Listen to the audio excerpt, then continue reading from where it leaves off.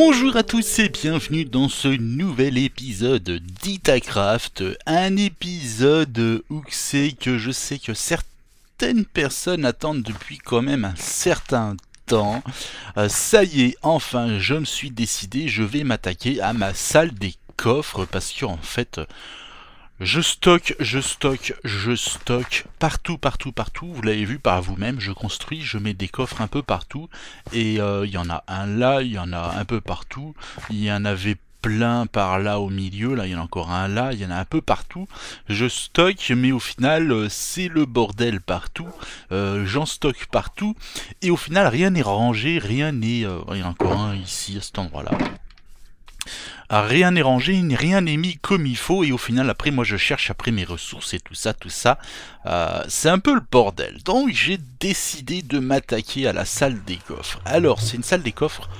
Euh, vous allez le voir, je vais pas vous spoil. J'ai même fait exprès la miniature, on voit pas la salle des coffres. J'ai fait exprès euh, parce que je, c'est une salle des coffres qui est assez, qui m'a pris du temps à designer. Elle m'a pris un certain temps. Alors, c'est, je reprends la, c'est la même base que mon premier LP que j'avais fait, le LP euh, technique. Hein, j'avais fait un LP technique. Pour les plus anciens, puis surtout parce que je sais que les personnes qui m'ont demandé la salle des coffres sont des personnes, des viewers qui justement regardaient le LP technique. Et euh, le LP technique, c'est vrai, c'est un peu terminé euh, sur cette salle des coffres. Euh, d'un seul coup, il n'y a pas eu de fin et tout ça. Bon, bah, c'est à cause de problèmes euh, de map et tout ça. Enfin bref, problème serveur et tout ça. Euh, petit souci à l'époque, hein, en même temps. voilà, c'était quand je, je venais de commencer YouTube. Enfin bref, voilà. Et euh, cette salle des coffres là, celle que je vais faire sur Itacraft, elle reprend la même base, c'est le même principe, c'est le même fonctionnement, avec quelques petites améliorations, et par la suite on va rajouter par-dessus d'autres machineries qui vont faire que la salle des coffres, elle va être euh, vraiment automatisé mais au maximum. Hein. Mais ça on en parlera bien plus tard. Euh, cet épisode là ça va être le tout premier épisode où c'est que on va construire, enfin je vais construire la salle des coffres. Je vais construire et je vais vous expliquer en gros son fonctionnement. Même si je l'explique déjà dans le LP technique, euh, je vais vous expliquer de nouveau son fonctionnement parce qu'il y a des toutes petites modifs que j'ai apportées dessus. Euh, mais par la suite, il y a d'autres machines qui vont se rapporter. Donc cet épisode-là, c'est le début d'une série d'épisodes qui va concerner la salle des coffres, parce que la salle des coffres, c'est un projet qui me tenait à cœur. J'avais plusieurs projets qui me tiennent à cœur sur cette série, hein. euh, du moins des projets Redstone, hein, parce que j'ai plein de projets sur cette série. Euh, J'en suis loin d'avoir fini, j'ai énormément de projets, de choses à faire. Seulement, j'ai pas forcément le temps. Et euh, il y a très gros projets, il n'y en a pas tant que ça, des très gros projets. Euh, le premier très gros projet c'était la ferme à faire, mais celle-là elle a été réalisée en début, de, en début de saison assez rapidement, puisque la ferme à faire c'est un peu, on va dire, euh, ma spécialité. Euh, la ferme à or qui a été faite il n'y a pas si longtemps que ça. C'était aussi un des gros projets parce que c'est une ferme qui permet, on va dire, d'obtenir de l'XP à F4 assez facilement. D'ailleurs, vous pouvez regarder mon niveau d'XP, il est à 125. Euh, vous allez comprendre pendant le timelapse pourquoi je suis à 125.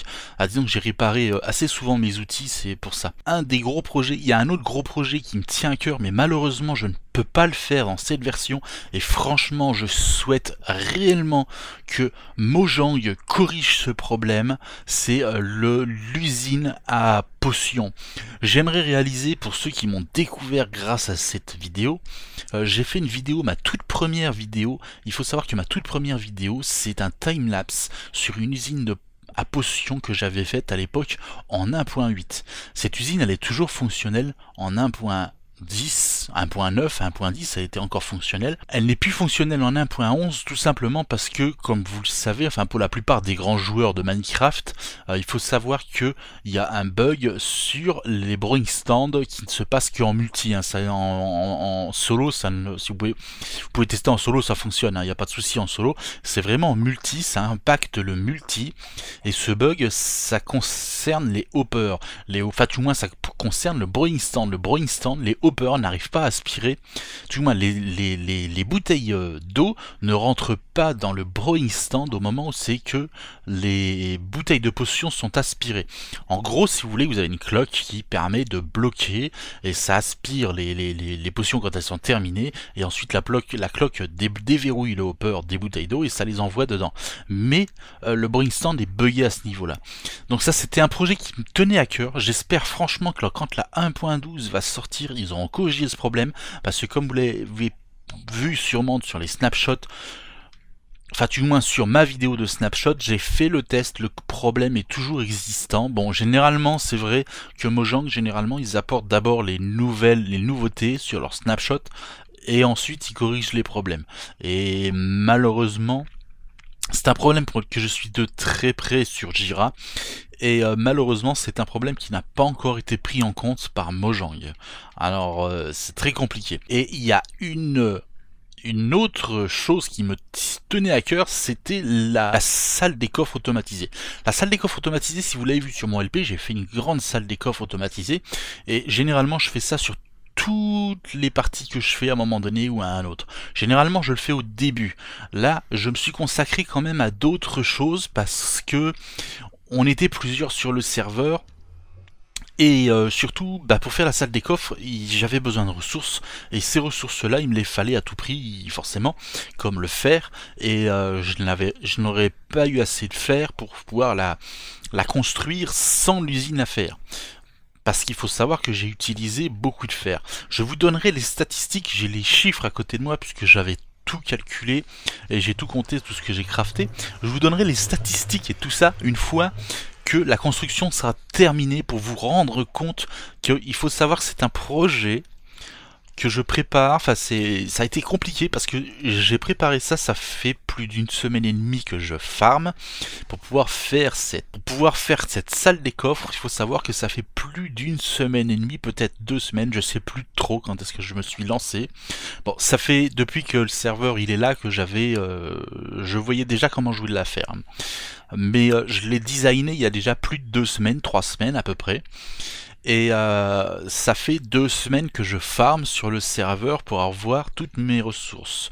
Euh, là, ce sont toutes les ressources dont je vais avoir besoin. Normalement, j'ai tout. J'ai tout préparé et tous, ils sont quasiment tous pleins. Euh, et ça, c'est la nourriture que je vais avoir besoin pour la construire. J'aurai peut-être pas besoin de tout, mais pas loin. Et je vous donnerai les chiffres à la fin. je vais pas vous dans l'immédiat. Je vais vous laisser découvrir ça sur le timelapse. Euh, mais grosso modo, elle va être située ici. On peut voir, j'ai fait un petit trou. Et elle va se situer à cet endroit. Euh, je vous en dirai plus après. Et je vais arrêter de vous faire languir devant ce timelapse. Et euh, on va le lancer tout de suite.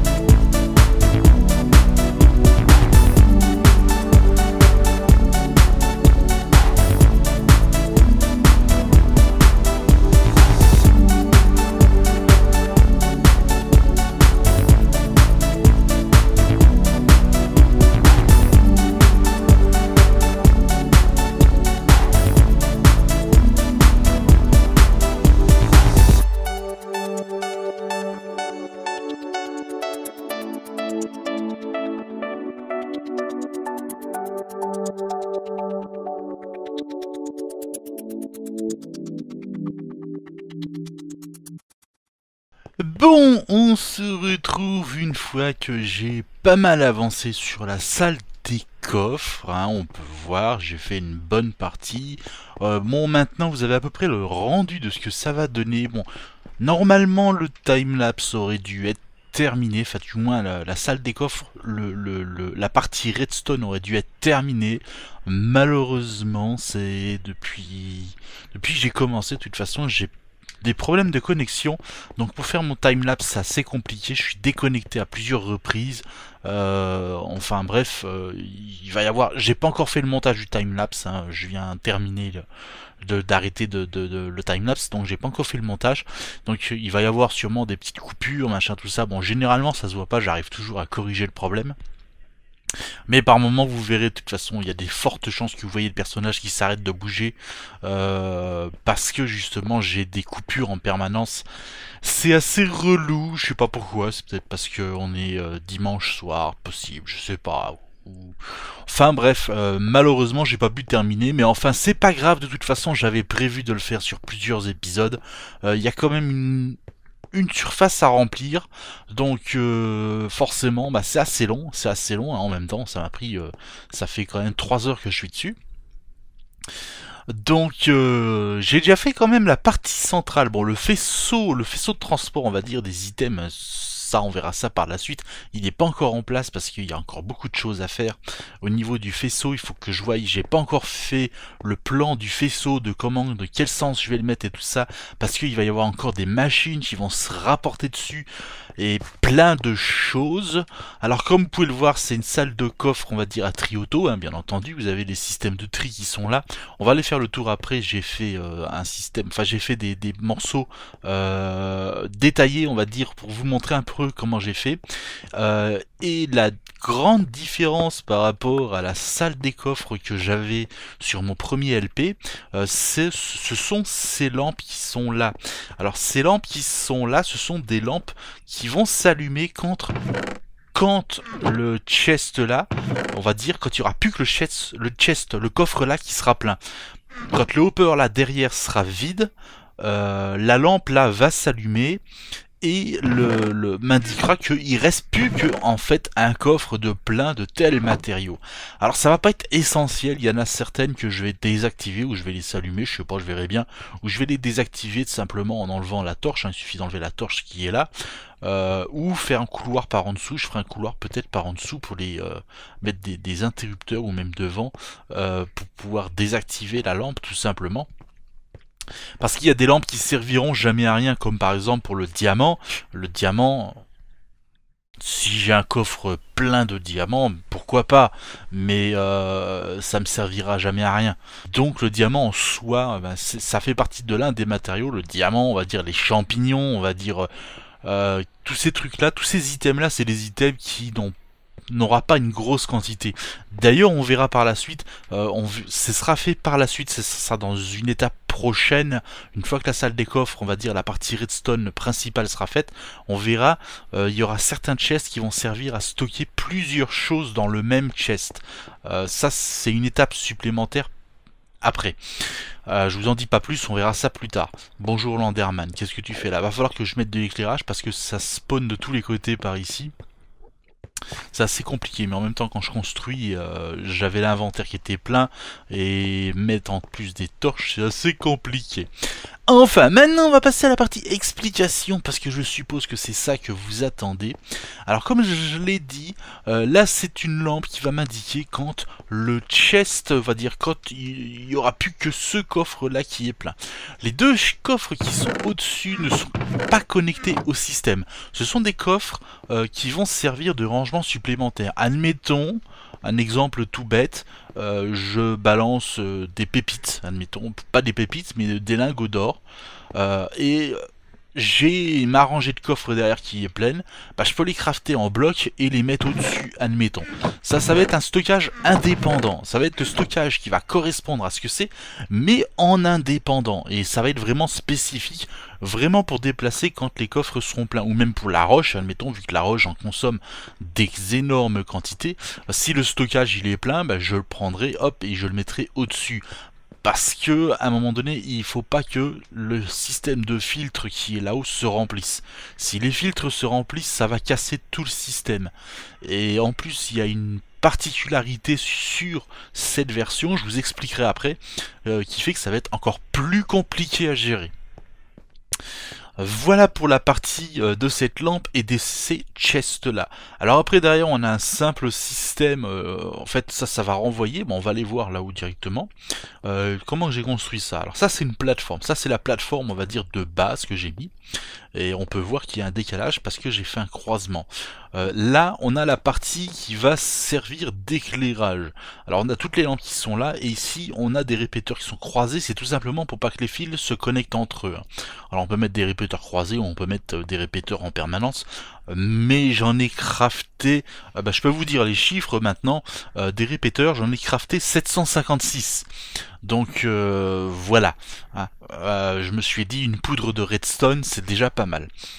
là, on a des torches qui vont faire l'alimentation. Alors tout ça, c'est tout un système que j'ai mis de cette façon pour essayer de le compacter au maximum. Il y a peut-être plus court, mais c'est le plus compact que j'ai fait parce que je voulais pas que ça prenne trop de place. Hein. C'est pour ça qu'il y a des, il y avait sûrement des solutions plus simples, mais moi la solution là, c'est la solution que j'avais besoin, puisque à cet endroit-là, normalement, ah non, j'ai rien de posé. Euh, j'aurais pu, ouais, sinon j'aurais pu faire des ponts. Ah oui, il me fallait un inverseur en fait. C'est pour ça que j'avais fait ça. Il me fallait un inverseur parce qu'à un moment donné, pour pouvoir justement compresser le système, à un moment donné, je fais un système euh, justement qui renvoie le courant vers le bas euh, et qui est renvoyé directement par ici. Il y a une partie au-dessus, à cet endroit là-haut, qui va faire que le courant est renvoyé vers le bas euh, directement. Un ascenseur descendant, on va dire un descendeur. c'est cette partie-là. Et cette partie-là, c'est là justement où c'est qu'on va voir, on va venir mesurer au travers de ces blocs-là les euh, entonnoirs qui sont juste derrière les premiers coffres. Ce qui fait que quand cet entonnoir-là sera euh, vide, là, il n'y aura plus de signal, on va envoyer la torche euh, va s'allumer forcément, et forcément la lampe, par la logique des choses, puisque là c'est un ascenseur, elle va s'allumer. L'utilité, ça va être surtout pour tout ce qui est bloc de stone, bloc de, de, de, hum, tout ce qui est cobble, tout ce qui est, enfin, tout ce qui est bloc de construction, le bois et tout ça. Comme ça, en fait, en gros, j'arrive, je vois, ah bah tiens, il me, manque ça, il me manque ça. Enfin, moi, j'ai plus ça, j'ai plus ça. Et puis, je peux me dire, bah tiens, euh, je vais faire une séance de minage ou je vais faire une séance de coupe de bois. Enfin, une séance de ce que j'ai besoin euh, pour pouvoir euh, avoir les matériaux en permanence. Étant donné que je vais faire quand même pas mal de construction sur cette saison, c'est pour ça que je voulais une telle salle des coffres. Parce que cette salle des coffres là, en plus, il faut savoir qu'elle est euh, déjà, je l'ai déjà prévue pour la 1.12. Il y a 80 que je dise pas de bêtises, non c'est 48. Il y a 48 colonnes supplémentaires de prévues pour tous les nouveaux blocs qui vont arriver en 1.12 dans l'espérance qu'ils en rajoutent pas. Enfin, en même temps, il y a quelques blocs, il y a quelques colonnes, je crois qu'il y a une dizaine de colonnes supplémentaires qui, pour le moment, n'ont pas de prévoyance. Euh, donc euh, ça devrait le faire. Mais j'ai déjà prévu les blocs supplémentaires euh, dans toutes les variantes. Bien entendu, hein, il y aura toutes les variantes et ça on y reviendra dans des épisodes à venir pour faire les variantes parce que certains coffres vont stocker la même chose parce que ça n'a pas d'utilité de stocker ça dans plusieurs coffres, euh, j'en vois pas l'intérêt. Ensuite, au-dessus, là, vous pouvez voir qu'il y a encore une rangée de lampes, et ces lampes-là, contrairement à cela, ça va être l'inverse. Ceux-là vont s'allumer quand le système va commencer à arriver à saturation. Alors quand il va arriver à saturation, alors on va aller voir là-haut, parce que là-haut, euh, le système, je ne l'ai pas monté entièrement exprès. Il euh, faut juste que j'arrive à grimper sur le système. Seulement, il faut que je rajoute un bloc. Bon, j'ai des blocs sur moi. Hop. Tac, tac. Voilà, quand on a, euh, là ici, on a à peu près, j'aurais dû compter les chests avant, on a exactement 1, 2, 3, 4, 5 double chests plus les hoppers. 1, 2, 3, 4 hoppers qui est là.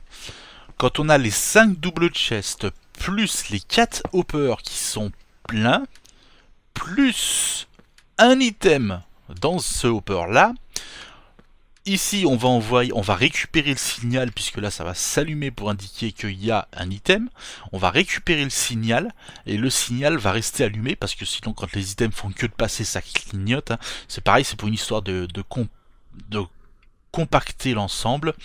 Euh, mais autrement, le système va s'allumer, va rester allumé et va indiquer que le système arrive à saturation. Alors il y a une sécurité quand même de saturation parce que c'est toujours pareil, on peut balancer euh, 5 sacs de cobble dans le chest, ils sont avalés, ils sont dans le système, le temps qu'ils arrivent, euh, forcément, bah, ils, on peut pas les récupérer une fois qu'ils sont dans le système, ou alors pour les récupérer c'est très compliqué.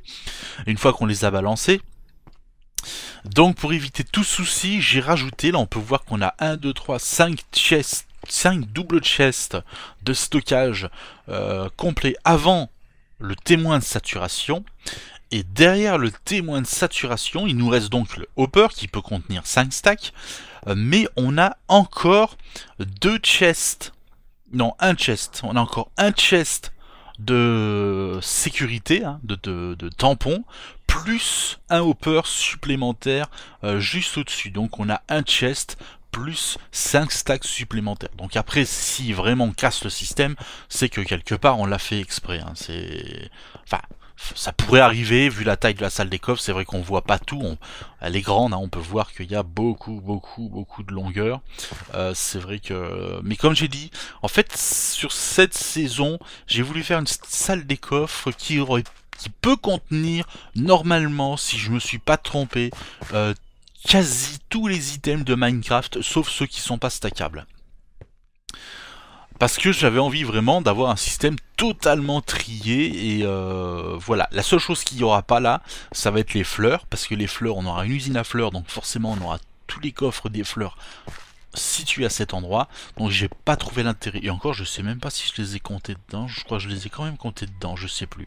On verra bien. Enfin bref, on a un système de stockage qui est totalement, euh, on va dire, infâme, euh, qui va permettre de stocker tous les éléments de Minecraft et euh, tout ça trié. Et au-dessus de, tout le système, on va dire, de, de, ces lampes, hein, les systèmes de lampes, on va dire, d'overflow, on a le système de tri classique, hein, c'est un système de tri classique, hein, on peut voir c'est un système en anneau, euh, comme on retrouve régulièrement et comme c'est le système que j'utilise à chaque fois.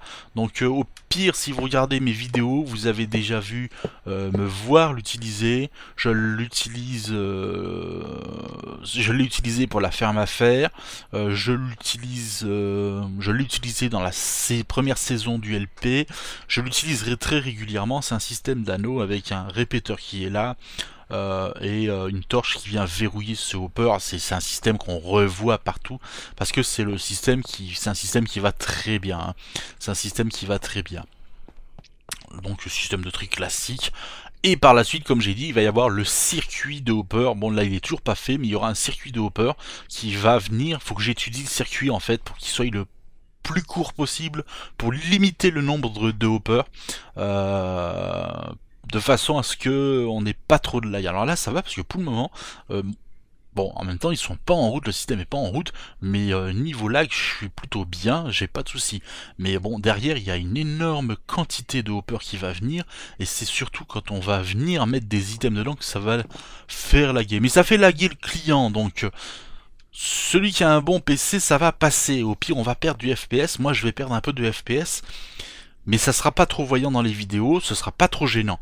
Euh, par contre, euh, il y en a comme Cédric qui, quand il va venir dans ma salle des coffres, au moment où c'est que je fais des tris, il va le sentir, je pense. Il va beaucoup le sentir. Il va avoir du FPS qui va descendre. Hein.